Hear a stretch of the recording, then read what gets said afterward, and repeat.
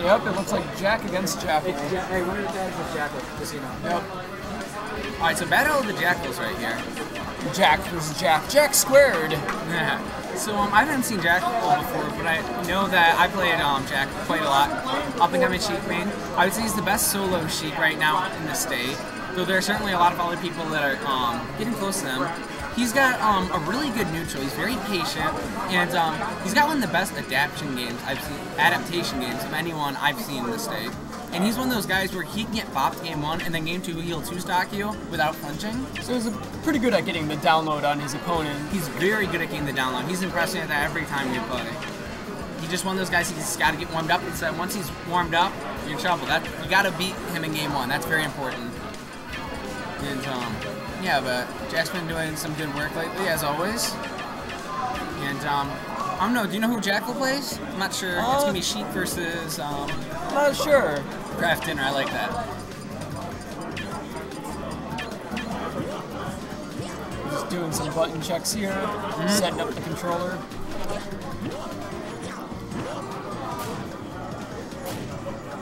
Jack's always like a robot when he plays. Man becomes just motionless. He's ready to take anyone down. Doesn't care. He's just ready.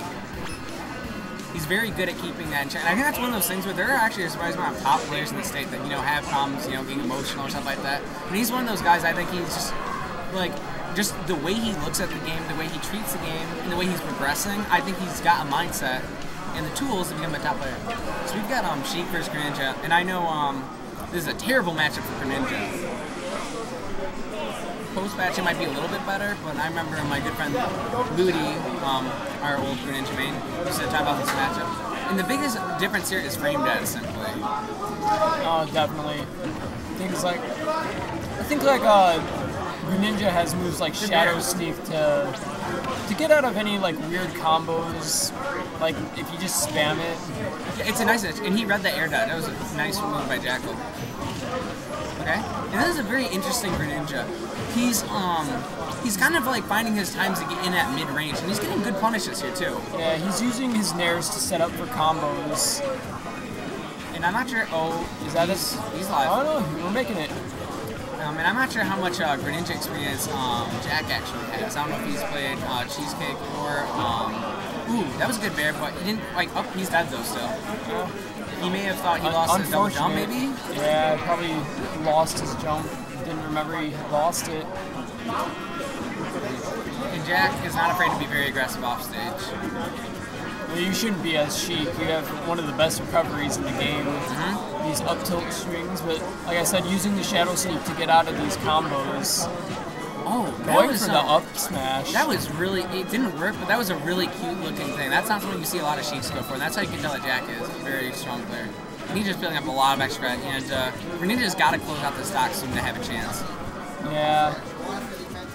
They're, they're getting at like right right at those percents where um, your combos start to not work anymore because of rage and damage. That's how I take it. But um, Greninja doesn't necessarily have a lot of great kill stops, but he does have things that go into, you know, um, a kill. Like, for example, I believe down tilt can go into some stuff, and he's got at higher percents down throw 50-50s with um, the fair, possibly. I think like his best setup. I think that was actually a bair. It was a fast fall bair.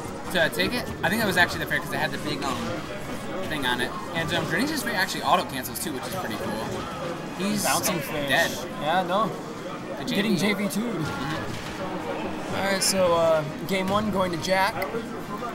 But honestly, I think um, Jackal can do some work. I think his problem was he lost that first stock.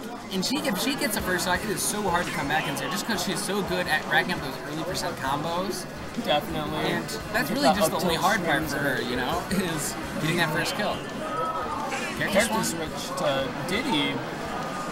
And um, this is definitely a better matchup for against uh, Sheik. Some people even say that Diddy might win now. I think it's about 50-50 personally, but Yeah. I think it's a, it's a pretty even matchup, I would say. A lot of both of them have a lot of good tools to kind of help against the other. And something interesting to look out for is with um, the nerfs to uh, Sheik's Fair, Diddy Fair might outrange in the new neutral, and so Jack might have to find a way to get in. But um, I'm not sure um, if it's just a secondary for Jackal, if he co-mains him. But um, I'm liking his movement right now. He's putting, um, he's trying to use those large hitboxes that Diddy has. But um, he needs to use the banana a little bit more if he can. Good read. I don't, I don't think Jack's giving him a chance to really get the banana out Mm-hmm. there. And um, both of these characters have among the best neutrals in the game. Banana Definitely. leads into so many conversions, and um, it can lead into a lot of great traps too. Can condition with it. And Sheik's needles also, you know, can allow a lot of grabs and other mix-ups too. Going for the down tilt into F smash, whiffing it. Getting to forward throw, going for the bouncing fish, missing. Great air dodge coming from Jackal.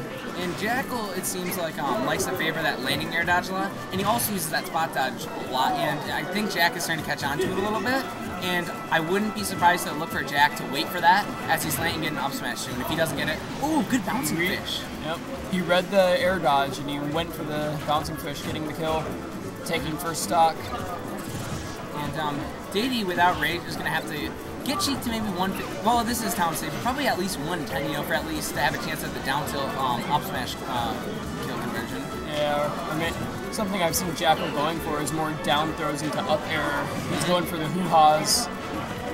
And at higher percents, you want to start going for the up throw too. And it can also lead, depending on DI, um, bairs and um, bears. And the fair just simply does more damage. So a lot of times, if you DI a certain way, it's optimal for Diddy to just get the fair.